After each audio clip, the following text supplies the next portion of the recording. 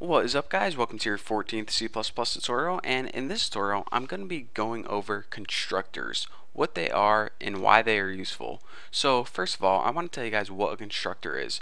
A constructor is a function that gets called automatically as soon as you create an object. So before what we could do is we could create an object and use that object to call functions from our class.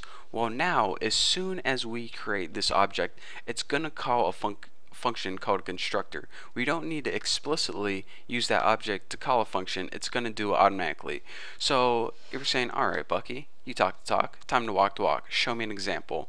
Well, creating a constructor is incredibly simple. To do so, it's basically the same as creating a function with a couple weird rules. First of all, I need to tell you guys this. Constructors never have a return type, so you don't need to type int or void or string or anything like that. The only thing you need to do is type the constructor name.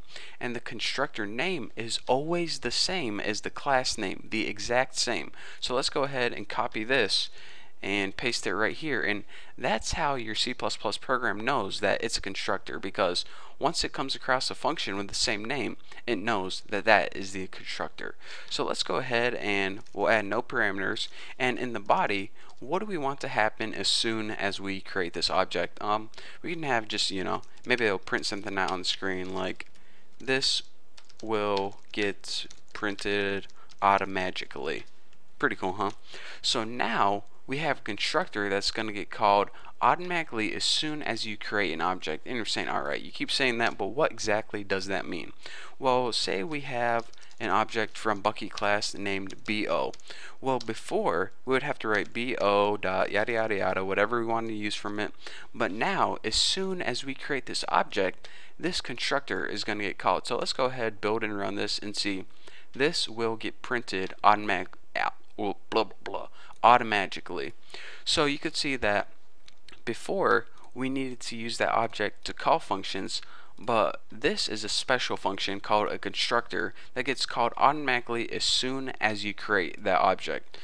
So you're saying, alright, that's pretty cool and interesting, but why wouldn't I just, you know, print this out on the screen or something else? What's the use of a constructor? Why would you even want things to happen automatically? Well, typically people don't print things out in their constructors. Actually, if you see anyone printing something out in their constructor, then they're an idiot and you should slap them upside the head because constructors the main reason that people make constructors are to give variables an initial value. So, for example, um, this class has a variable called name, but it might have another variable called age, height, weight, favorite color, favorite sports team, have all these variables. So as soon as you create an object from that class you might want to assign a bunch of values to these variables right now. So in order to do that here is what you do whenever you want to take a value and assign it to a variable you need to add a parameter in your constructor. So let's go ahead and assign a value to this name right here. And in order to do that we need to pass in string and just name it z or something. So now what we can do is we're going to be passing it in a string to be setting it equal to name. Well we already have a function that does that called set name.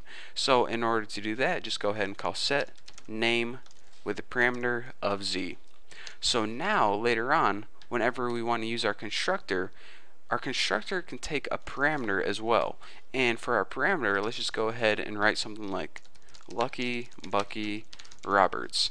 And now what's going to happen is this. As soon as we create this object, it's going to call a constructor with a parameter Lucky Bucky Roberts. So it's going to go up, see if it has a constructor. Oh, I do. And as my parameter, I need a string. And for a string, we gave it Lucky Bucky Roberts. So anytime it saw Z, it plugged in Lucky Bucky Roberts. So it says, all right, in your constructor you told me to set the name equal to Lucky Bucky Roberts. So it basically set the name equal to Lucky Bucky Roberts. So pretty much Lucky Bucky Roberts got passed in the Z, which got passed into X, which got passed in the name. So that's why our name was Lucky Bucky Roberts. So now that our name is Lucky Bucky Roberts, that uh, gets kind of repetitive saying that but anyways we can just go ahead and you know print it out on the screen or something so of course to access anything in our class you use the object and of course the get name just like that function. So let's go ahead and build and run this and we have int main. We got a problem here. Hold on one second. Let me find it.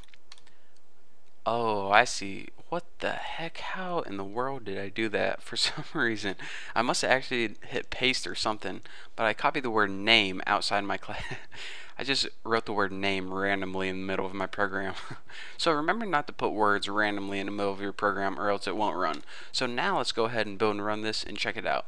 Lucky Bucky Roberts. So that is the basics of a constructor, how they work, and also how you can add a parameter to your constructor. And basically the only times you would want to add parameters to your constructors is whenever you're taking those variables that are inside your class and you want to set them equal to values initially. So that is basically why a constructor is useful. Whenever you have a bunch of variables in your class and you want to set them equal to values initially, um, that is how you can do that.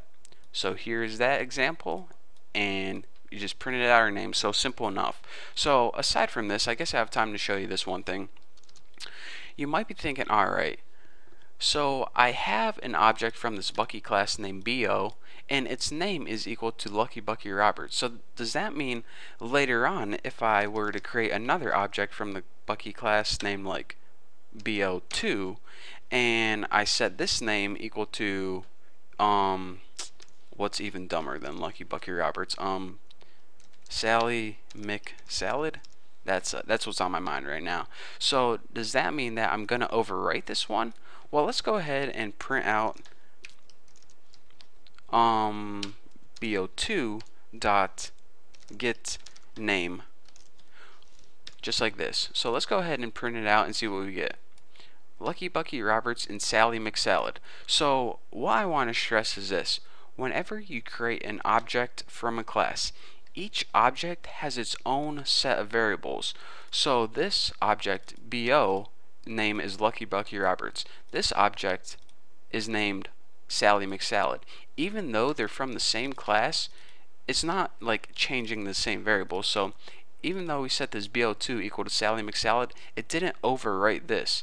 They're just from the same template pretty much. So anyways, what I wanted to stress is that you can create multiple objects from the same class and they don't overwrite each other. They're just assigned their they're assigned their each set of variables. Am I saying that right? They're each assigned a set of variables. So yeah, just wanted to stress that before you get into uh, objects and classes more and you get confused.